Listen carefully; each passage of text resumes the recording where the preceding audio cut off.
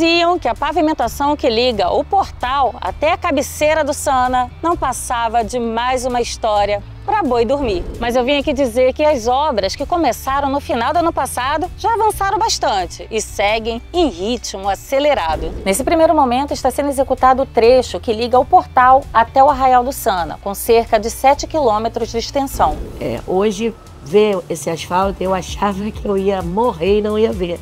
Porque muitas vezes teve essa promessa de ter o asfalto no Sana.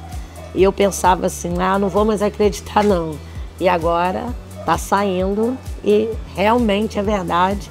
Hoje a gente pode constatar que nós estamos lembrados aqui no Sano. Quem tem filhos, quem tem neto para estudar, a gente fica muito isolado aqui. Quando chove, várias vezes a gente já ficou na estrada sem poder passar.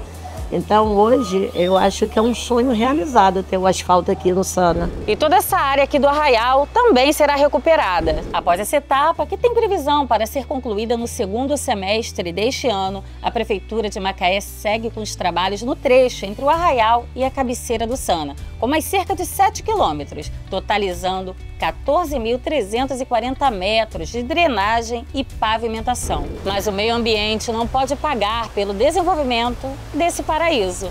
É aí que entra a contrapartida. De acordo com o licenciamento ambiental, a medida compensatória será o plantio de mais de 500 mudas de espécies nativas na APA do Sana. Isso representa cinco vezes mais do que foi suprimido. A iniciativa vai possibilitar aos profissionais que trabalham aqui no distrito mais facilidade para ir e vir vai contribuir também com o desenvolvimento econômico e a promoção do turismo. Além de proporcionar qualidade de vida para quem vive nesse lugar tão rico em belezas naturais.